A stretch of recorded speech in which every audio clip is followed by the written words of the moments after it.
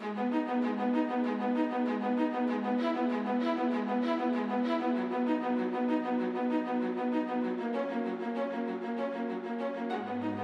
Louis Hébert est un fils d'apothicaire. D'ailleurs, il est né dans l'apothicarie de son père à Paris. Ça s'appelait le Mortier d'Or.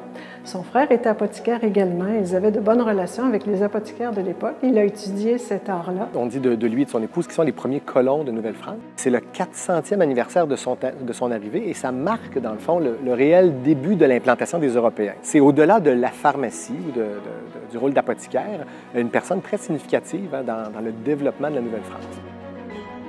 D'abord, de choisir de venir en Nouvelle-France, c'est clairement un intérêt pour, l'aventure et la découverte. Il a fait beaucoup de choses lorsqu'il est arrivé ici en Nouvelle-France et il a vécu dix ans en Nouvelle-France pour soigner tant les, Français que les Premières Nations aussi.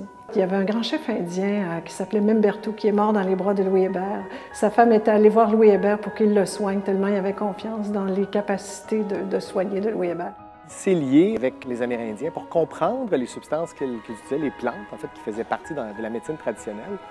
Euh, et il a euh, contribué à réimporter en France plusieurs de ces plantes-là, tenter de les faire pousser. Euh, donc, pour élargir le champ de connaissances et améliorer sa propre pratique.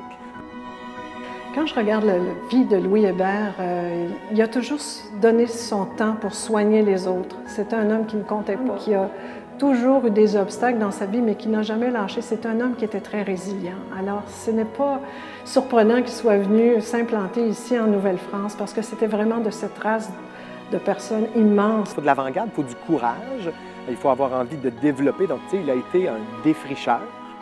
Euh, alors, tout ça est assez inspirant pour un pharmacien. Comme pharmacien, je pense qu'on peut être fier de ce modèle de résilience-là, qui, 400 ans plus tard, est toujours une fierté pour nous tous.